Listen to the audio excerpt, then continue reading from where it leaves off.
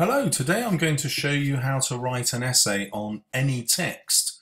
To do that I'll be focusing on this poem, Mother Any Distance, but um, all the techniques I show you will work just as well with a novel or a play. Um, and I'm also going to show you where I got this essay from. So here it is as a PDF and I've downloaded this from my exam board, OCR, but uh, it Similar essays will be available to you with your exam board. Just look for the support materials. And what you get is a candidate's answer, and then at the end, uh, examiner's commentary. And often this commentary is much more developed um, than it is in this particular example. Okay, let's look at the actual essay and work out why this candidate has got 100%. I've separated some parts of the answer so that you can see what these points refer to. So start with more than one point of view. Here there are two. The imagery of distance and the difficulty of letting go are used by Armitage to convey the strength of an attachment between a mother and son. So there are two things he's looking at here, uh, the difficulty of letting go and the strength of an attachment. Um, both done really economically in one sentence, two ideas. Uh, this also does this job for us. Start with a statement of the poet's point of view. Yeah, this is what Armitage is trying to convey. Um, that is an A star, A grade um, technique. Then we get to the next paragraph. The poem depicts moving house, but symbolizing the moving on of a young man and the independence he now has. Again, more than one idea in the sentence. The structure of the poem varies as there's no fixed rhyme scheme, but the lines of the stanzas vary in length. Well, so what? You don't get any marks for that, but now he does, or she does. This could perhaps be used to symbolise the relationships with mothers as the distance between a mother and a son constantly varies. So here the candidate is thinking that the poet, the author, Armitage, is trying to make a general point. Yeah, so it's not just this one relationship. He's using that relationship to talk about mothers' relationships with sons generally. And that's another technique to get into the A star. Um, well, I've helpfully color coded things, I at least hope uh, helpfully. So subject terminology I've highlighted in yellow. And you can see that this writer has put in as much as possible early on to let the examiner know that, look, I know the right vocabulary to use when I'm dealing with a poem. Uh, credit me as an expert. If I go further on down, you'll see such things as pathos, theme, imagery, metaphor, and so on. Uh, if you're not sure of a word when you go to these examiners' um, uh, support materials, then right click.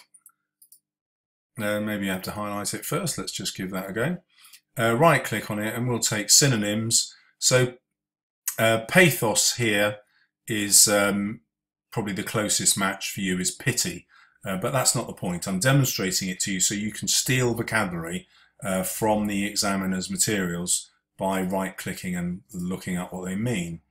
Okay, what did um, the grey denote? Well, have alternatives to the word shows. And it's interesting that this candidate has done so um, throughout the beginning of their essay. And then as they've exhausted their ideas, they're coming back to shows and show and show, uh, becoming less adventurous. And this is another top tip I give my students. If you show off with all your techniques at the beginning of your essay, the examiner will make up their mind there and then. Uh, and then they're just reading the rest of the essay to confirm that first gut instinct. Um, so if your if the rest of your essay doesn't uh, look as good, you can still get the marks, provided that the conclusion is spot on. I'll deal with that in a minute. Uh, okay, the other technique that this writer has used, which is a really clever one, is that they're writing about structure early on. Um, it's really easy when you're quoting just to write about the language and all mark schemes have a mark for structure and form. And this candidate has said, right, I'm going to write about structure almost in my first paragraph um, because then I know I'm scoring marks for that stuff. Now that's a really top tip. Uh, the other question that you might ask yourself is how many quotations do you need? Uh, well, in purple, I've highlighted the number of question, uh, quotations. If we scroll down, uh, this candidate has used 14 uh, to get the A star. Um, so a high number, but not a massive one. Um, in the same booklet, they offer us uh, an answer that scored less than this with 24 quotations in it. Uh, so the next question is, what do you do with those quotations in order to score so highly? Well, here I've artificially broken up um, a paragraph into component parts so you can see the next skill, which is have more than one explanation or interpretation. And this candidate's got three for virtually every uh, quotation they're looking at. So the title is used by Armitage to stress the high regard he holds his mother in. So that he means, or she means by that, calling her mother rather than mum. The title is also the first line, any, uh, any distance greater than a single span, shows that he had needed his mother and that she had been very dear and helpful to him. So that's still dealing with the same um, quotation, the same line, and then there's a further point about the same line. This is moving to the reader as the poet is saying that he would not get very far without his mother and her sacrifices. Um, now, I haven't separated into three points all the other um, paragraphs, but this writer does use that technique all the way through of, of writing several explanations uh, for each quotation. Right, well, the next vital skill is this ability to be able to embed your quotations.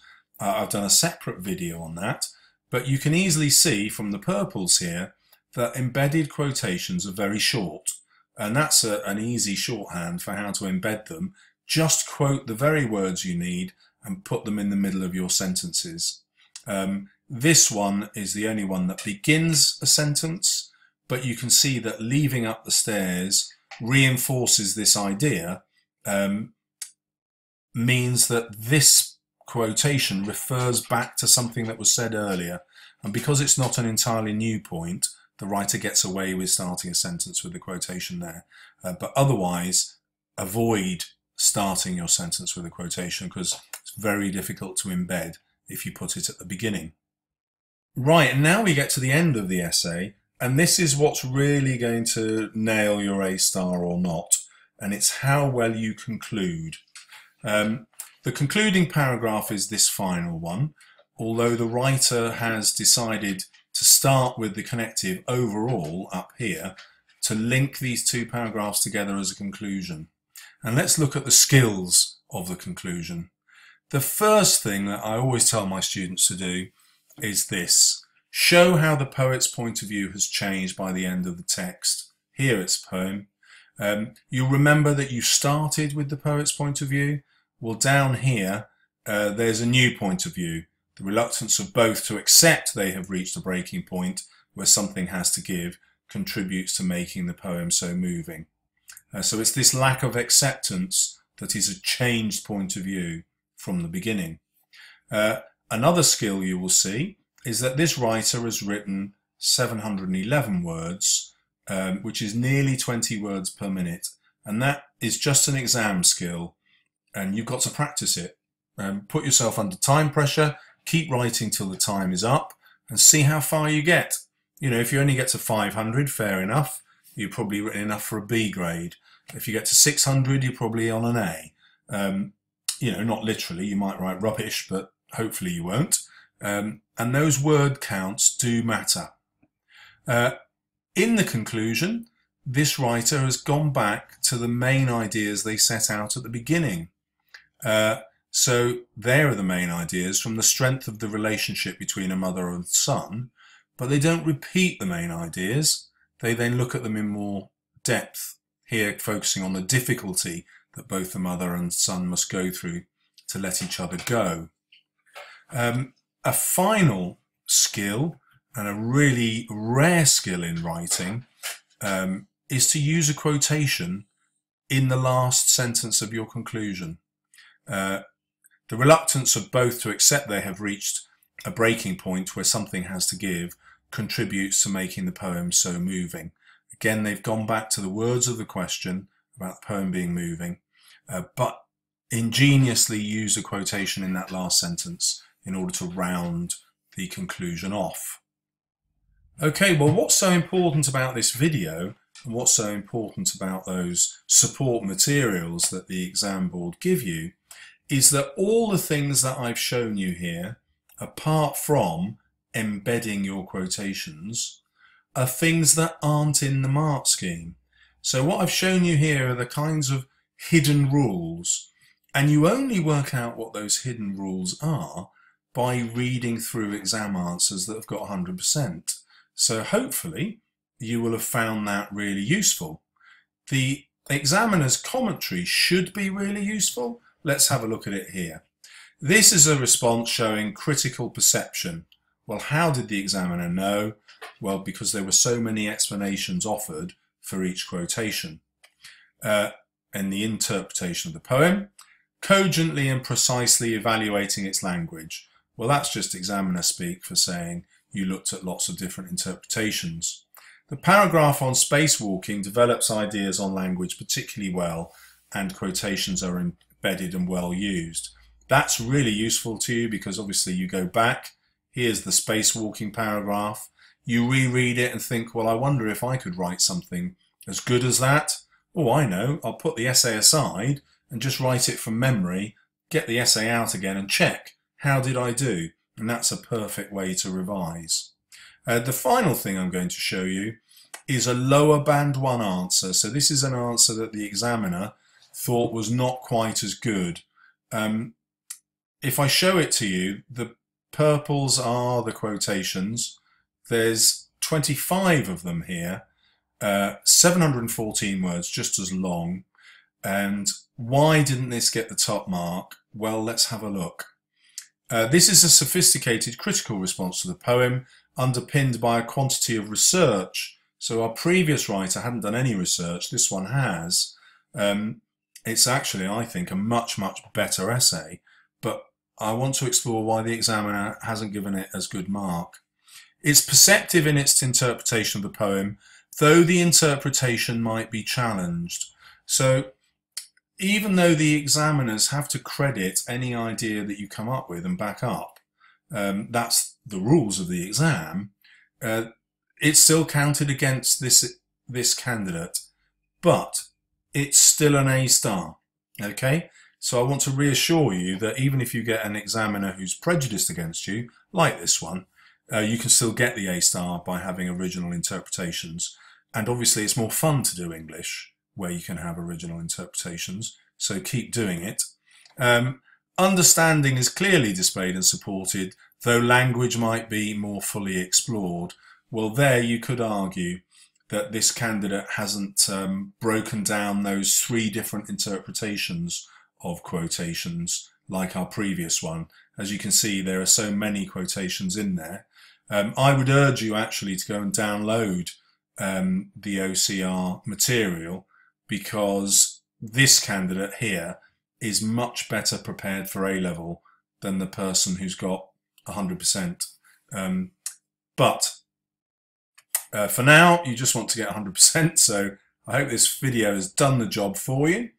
Um, don't leave your revision to luck. Actually try writing this essay now and then um, compare it to, um, to, to the original. Uh, if you like more videos, uh, please subscribe and good luck with your revision.